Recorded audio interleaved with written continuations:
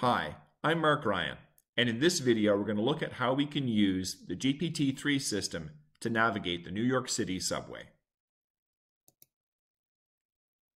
A few months ago, I published a video showing how I created a harness that used the GPT-3 system to navigate the London Underground. And the purpose of this project is to take the same harness with no code changes, only the addition of new prompts for the New York City subway and new tests for the New York City subway and see if GPT-3 can navigate the New York City subway. Actually, it's not the entire subway we'll be looking at. We'll just be looking at the subset in Manhattan. But that's challenging enough as it is. We'll feed into the harness, into the Python code, CSV files that contain a list of the questions and answers for New York City subway navigation. The questions will state a question like how to get from Franklin Street to South Ferry, and the answer will be the line to take and the stations to go from and to.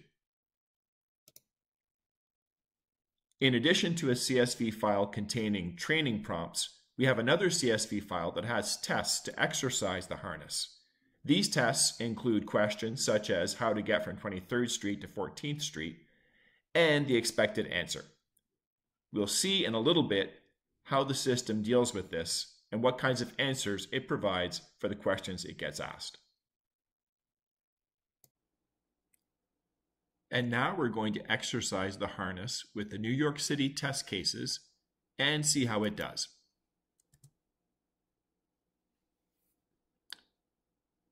The test cases are being fed in, and we'll see the results for each of the test cases,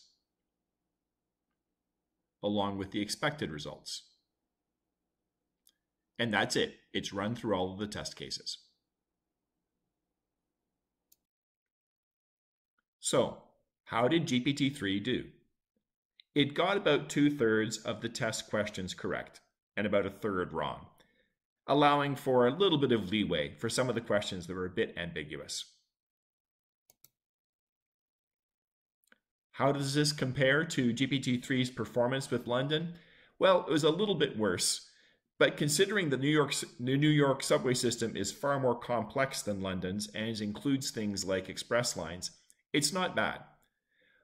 One of the questions that I ask myself is whether there's more material in the training that was done on GPT-3 about the New York City subway than there was about the London subway.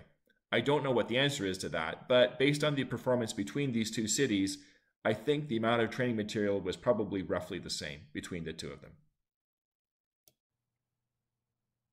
New York's Transit Authority, the MTA, publishes this fantastic interactive subway map.